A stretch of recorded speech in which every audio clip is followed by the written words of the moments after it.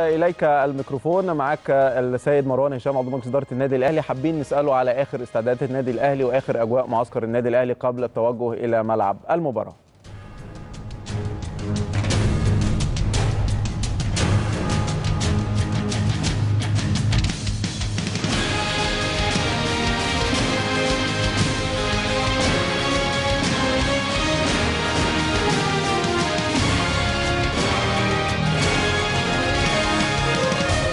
محمد وبجدد التحية بكل مشاهدي ومتابعي قناة النادي الأهلي في كل مكان. معايا في هذه اللحظات السيد مروان هشام عضو مجلس إدارة النادي الأهلي في كواليس ما قبل هذه المباراة الهامة جدا مباراة الأهلي والمصري في نهائي بطولة كأس مصر.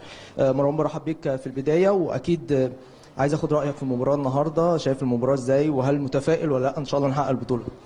أه برحب بيك وبرحب بالاستوديو الناس اللي في الاستوديو. أنا ما أعرفش مين اللي موجود.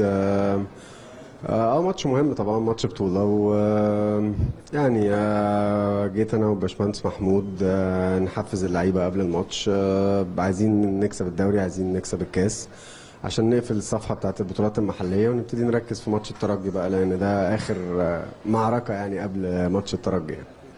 اجتمعتوا مع اللعيبة انت والمهندس محمود طاهر ولا لسه لا لا لسه يعني. هو مش اجتماع يعني هو مش اجتماعات خالص يعني. هو مجرد باشمهندس بس هيحفزهم و... والناس تبقى عارفة إن إحنا بنساندهم واقفين في ظهرهم زي العادي يعني. شايف إن شاء الله البطولة النهارده النادي الأهلي غايب عنه بطولة كأس مصر بقالها فترة. متفائل إن النهارده إن شاء الله ممكن النادي الأهلي يرجع البطولة للدولاب عندنا في النادي ولا لأ؟ آه بص يعني إحنا بالأهلي إحنا دايما متفائلين. أنا عمري ما دخلت ماتش أو بطولة وأنا مش متفائل يعني فلازم أكون متفائل. وإن شاء الله نكسب أنا واثق في الفرقة واثق في الجهاز الفني وكل الدعم ليهم وإن شاء الله يكونوا عند حسن الظن المسؤولية وربنا يسهل.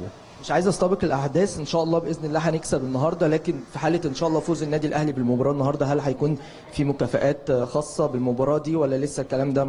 لا ترجع بقى مجلس الإدارة بقى دي. مش دلوقتي لسه بس مش هنسبق الأحداث. نكسب الأول وإحنا ما بنبخلش على حد بأي حاجة في النادي يعني. إن شاء الله. الرسالة اللي انت حابب تقولها للجهاز الفني واللاعبين مباراة مهمة جدا النادي الأهلي أو جمهور النادي الأهلي بالتحديد مستني إن إحنا نفوز النهارده خصوصا إن إحنا كمان هنلاعب آه، فريق قوي زي فريق آه، المصري. إيه الرسالة اللي انت حابب تقولها للاعبي النادي الأهلي قبل المباراة؟